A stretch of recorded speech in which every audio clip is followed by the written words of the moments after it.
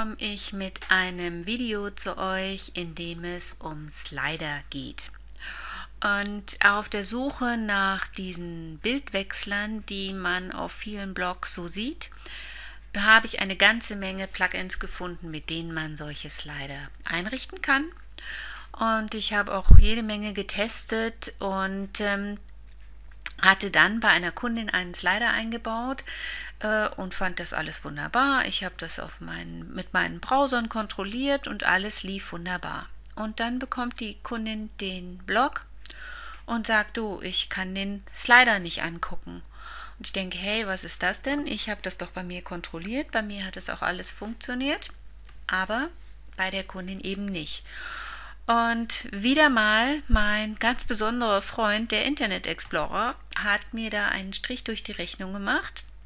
Ich bin dann auf die Suche gegangen, ob andere auch noch diese äh, Probleme hatten und tatsächlich gab es ähm, eine Diskussion darüber, dass dieser Slider, den ich eingebaut hatte, ähm, in Internet Explorer 6, 7, 8 äh, angezeigt wurde, nicht aber in 9. 9 ist der neueste. Und ja, und so war das, dass bei mir eben noch der Internet Explorer 8 installiert war. Bei dem konnte ich den Slider sehen. Meine Kundin hatte 9 und konnte ihn nicht sehen. Ähm, Support äh, des Plugin-Herstellers hat alles nichts genützt. Also Irene geht auf die Suche nach einem neuen Slider und habe einen gefunden, der funktioniert in allen Browsern. Und das ist dieser hier, der V-Slider 3.1. Den habe ich der Kundin jetzt auch installiert. Wir sehen, das ist auch ganz neu. Es gab wohl erst einen 3.0 oder 2.0, keine Ahnung. Jedenfalls 3.1 ist jetzt der neueste. Diesen Slider habe ich installiert und den stelle ich euch heute vor. Ich werde euch noch mehr Slider vorstellen, weil jeder Slider hat halt andere Funktionen und dieser hier passt aber jetzt sehr gut für das, was ich für meine Kundin eingerichtet hatte. Okay, jetzt geht's los. Ich gehe mal auf das Dashboard. Nein, nicht auf dieses Dashboard, sondern auf dieses. okay, und wir sehen hier, dass hier schon die Options Page von diesem Slider ist. Wie wir ein Plugin installieren, das dürften ja wir jetzt alle wissen. Ich zeige es nochmal ganz kurz. Unter Plugins installieren und dann entweder nach dem Plugin suchen oder das Plugin hochladen. Und in dem Fall habe ich dieses Plugin hier, V-Slider, die gezippte Datei, die ich mir von der vor, vorhergehenden Website heruntergeladen habe, ähm, ausgewählt und installiert. Und deshalb ist es bei mir jetzt schon installiert. Okay, ich gehe jetzt auf Slider und habe jetzt hier die Options Page, die Seite, wo wir die Optionen einstellen für diesen Slider. Und wir haben einmal die Möglichkeit, die, ähm, die Weite, also die Breite und die Höhe des Bildes festzulegen oder der Bilder besser gesagt. In meinem Fall passt das hier ganz gut.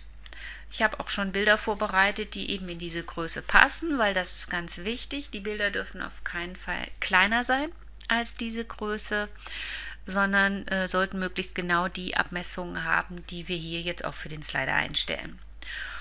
Und ähm, wir haben jetzt hier die Möglichkeit, es gibt also ähm, ja so solche, solche ähm, Übergangseffekte.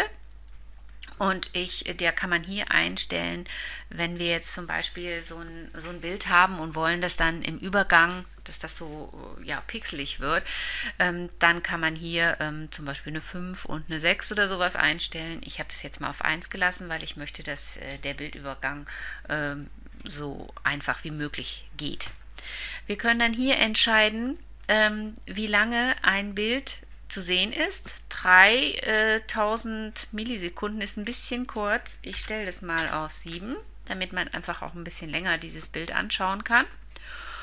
Und das lasse ich mal so stehen. Diese Einstellungen lasse ich auch.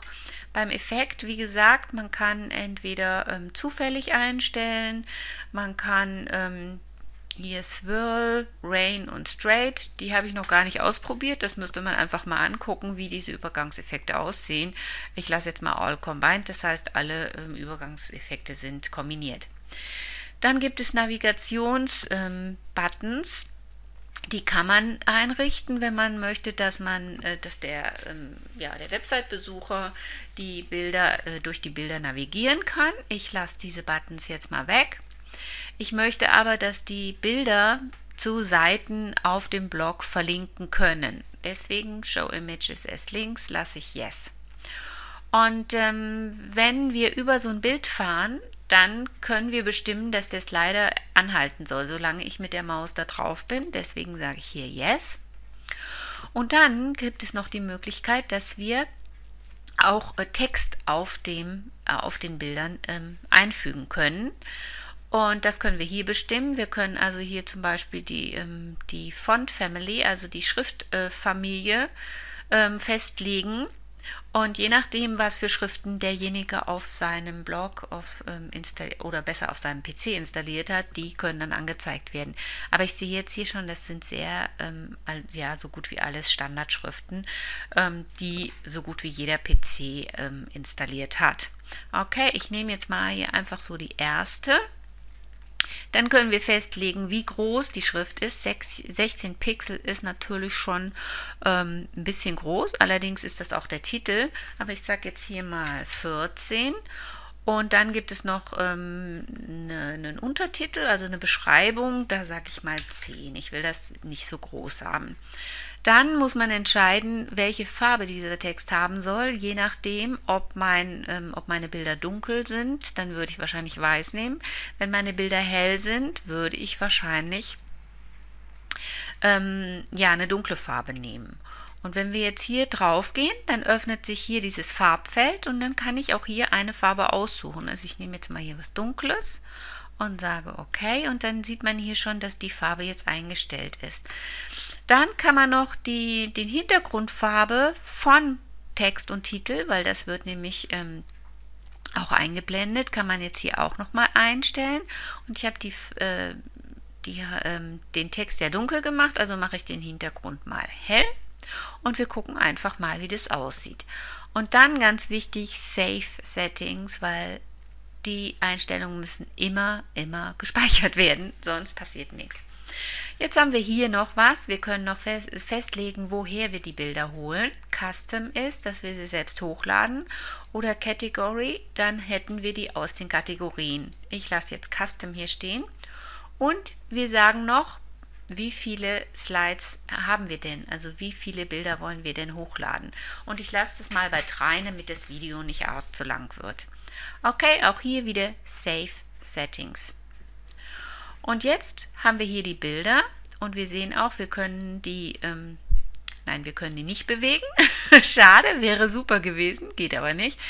Aber wir können jetzt hier auf das Pluszeichen gehen und jetzt hier eine Bild-URL eintragen.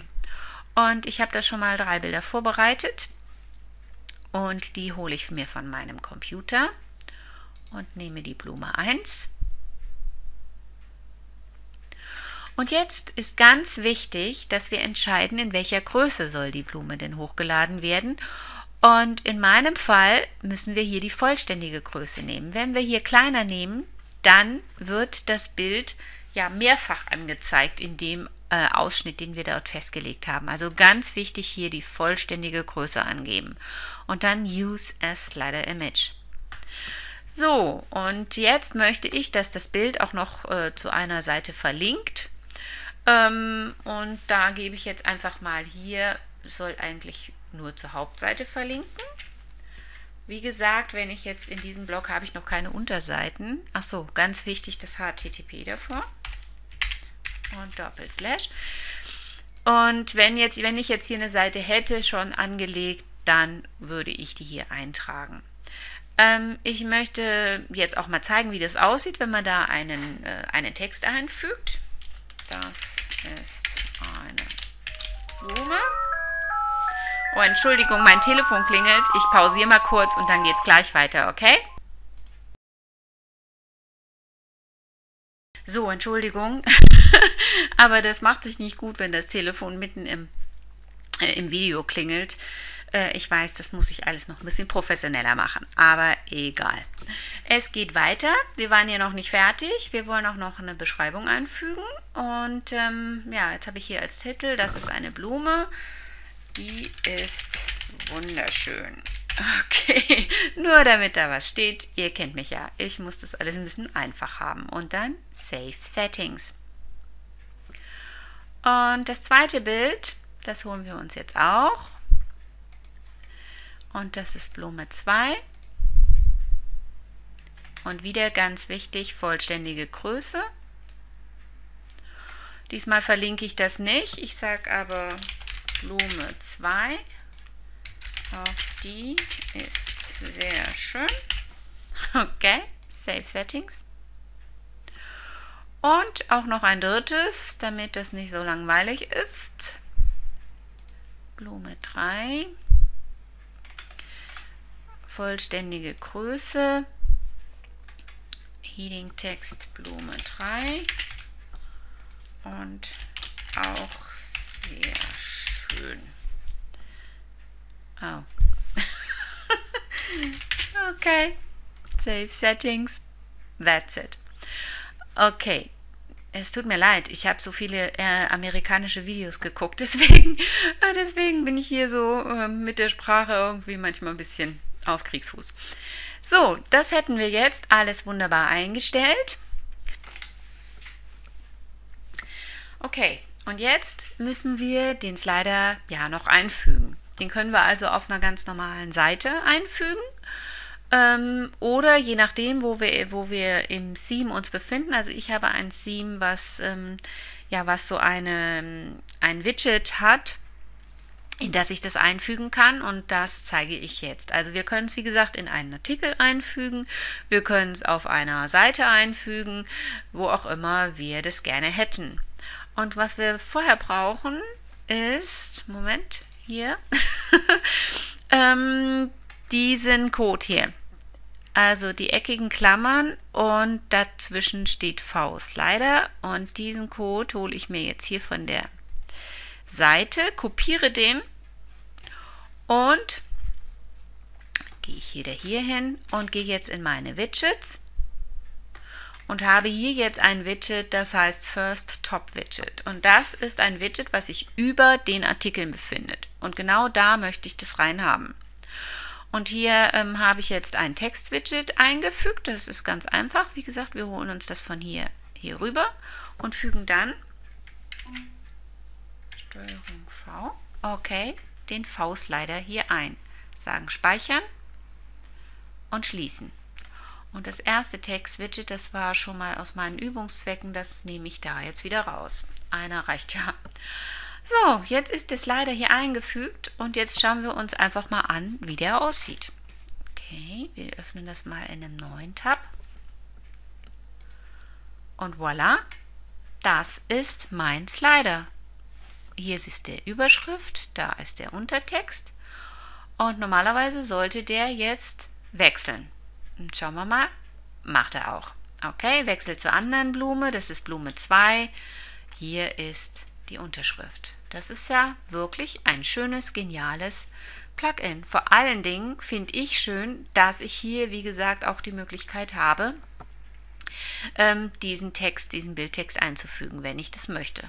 Je nachdem, was ich hier oben drin habe, ich könnte ja auch eine, eine Werbung schalten oder ähm, zu anderen Webseiten äh, verlinken, dann äh, macht es wirklich super Sinn, ähm, sich das so schön hier einzurichten. Also ein tolles Tool, fast noch besser als das erste, was ich getestet habe und was eben nicht im Internet Explorer funktioniert hat. Aber dieses hier, wunderbar, es funktioniert. Ja, das war ein Video aus meiner Slider-Reihe, weil es gibt wirklich eine Unmenge an Slider-Plugins. Äh, ich habe also noch einiges zu tun. Ich kann euch da noch äh, jede Menge äh, andere Videos drehen zu den verschiedenen Dingen, weil wie gesagt, je nachdem, was man mit dem Slider anfangen möchte, wofür man den nutzen möchte, ähm, je nachdem da entscheidet sich, welche Version man da nimmt. Aber der hier ist wirklich sehr nett, ähm, gefällt mir gut. Auch mit der Möglichkeit, den Text einzufügen. Das hatte ich nämlich bei dem anderen nicht. Also, bis zum nächsten Video. ich freue mich auf euch. Tschüss.